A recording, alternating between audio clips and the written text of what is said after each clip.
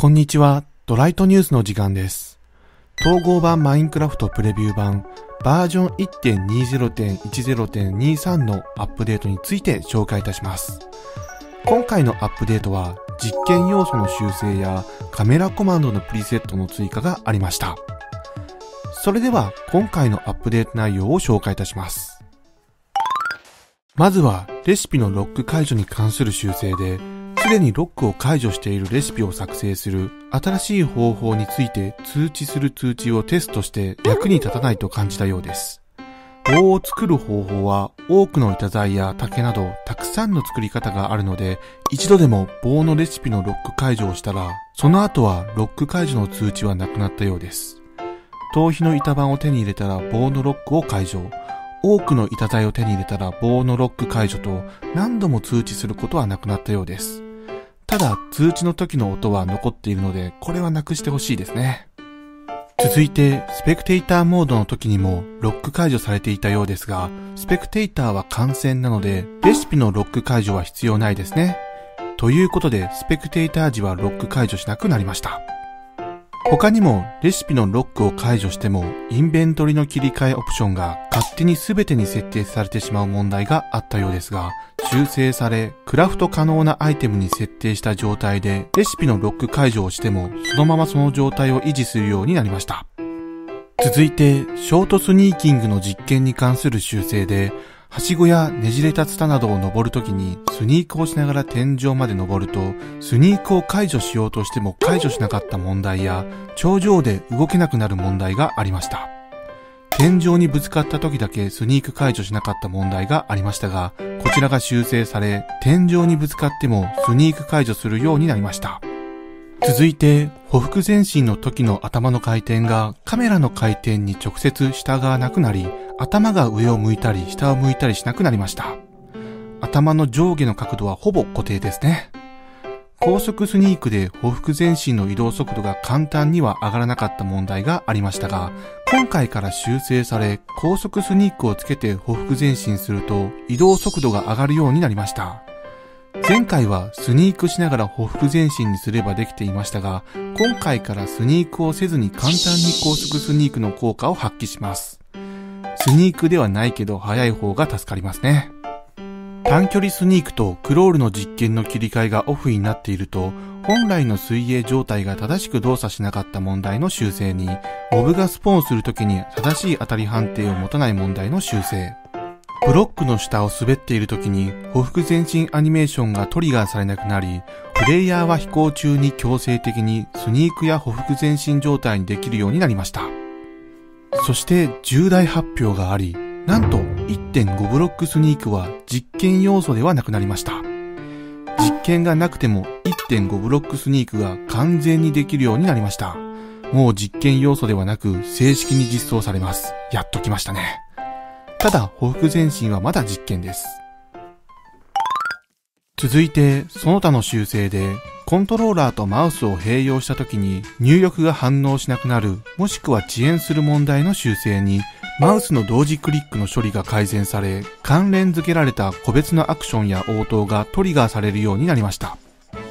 続いて、トースト通知の表示時間のデフォルトは3秒のままですが、チャットの表示時間はデフォルトが10秒に変更されました。3秒は確かに短かったですね。倒木からキノコが生えてこなかった問題が修正され、コンジットが地面に置かれた時に正しく証明されるようになりました。このように完全に真っ暗になっていた問題があったようですが、こちらが修正されます。樽を作るときに棒を使ったレシピが使えていた問題が修正され、西側と北側の近くに粉雪があると、粉雪なしでなぜか凍結してしまう問題の修正。模様入り本棚からエンチャント本を取るときに正しい音が再生されるようになり、スロットの相互作用が対象になりました。以前のバージョンのワールドから旅路物語へとアップグレードした時にボートが壊れ乗っていた全てのモブがボートから降りてしまうバグがありましたがこちらが修正され降りなくなりました。困ったバグがやっと修正されます。コントローラーを使用時にカーソルがランダムなインベントリスロットにスナップしなくなり馬とロバやラクダのジャンプバーが経験値バーに合わせて適切にスケールするようになりました。続いてコマンドに関する内容でtime コマンドの query は絶対時間がマイナスの場合に正しい日付と時刻を返すようになりました。観察者を設置するときのブロックステートで facing direction の代わりに Minecraft facing direction を使うようになり、その後の指定がダウンや north など方角と上か下かを選択する文字列になりました。以前は数値だったのが文字列になったことにより、どの方角かがわかりやすく指定できるようになりましたね。これはありがたいですね。こういうのは全部文字列にしてほしい。最後にカメラコマンドに関する内容で新たなカメラプリセット、イグザンプルプレイヤーエフェクトが追加しました。これは暗視などのエフェクトの効果を得た状態の固定カメラになります。以前、仕様変更で普通のフリーの場合は、プレイヤーに暗視が入っていても、その効果は固定カメラでは対象外になっていましたが、今回からこちらのカメラプリセットを使うことで、プレイヤーのエフェクト状態が反映された固定カメラになります。こうすることで暗視はもちろん、盲目や暗闇効果も固定カメラにも反映されます。これがあると嬉しいですね。分けてくれるのはありがたい。そして固定カメラの角度を決めるときにロットの他にもフェーシングが追加されました。これは特定のエンティティや特定の場所を見ることができます。以前は rot だけで角度だけを決めていましたが、 facing は座標を決めてそこを見るようになったり、特定のエンティティを指定して、その人を見ることもできます。特定のエンティティの場合は、これをリピートすることで、固定カメラでその人だけを追跡するカメラができます。角度を調べるときにめんどくさいときは、意外と facing は使えるのでかなり使いやすくなりましたね。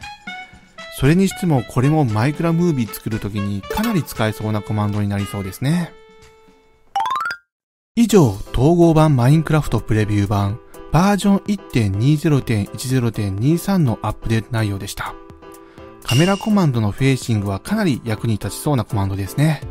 何かのムービーにも使えそうで、今回はかなり嬉しい追加要素がありましたね。そして、アイテムのコンポーネントが実験段階から追加したようです。CAN Destroy や CAN Place On などといったものが新しく追加したのかと思いますが、ただ使い方がわからないので、今は説明ができないです。申し訳ございません。このことが分かったらまた紹介いたします。こちらのアップデートは、スイッチ版、iOS、Android、Win10 版の PC、Xbox 版、PS4 に来る予定です。それでは、良い一日を。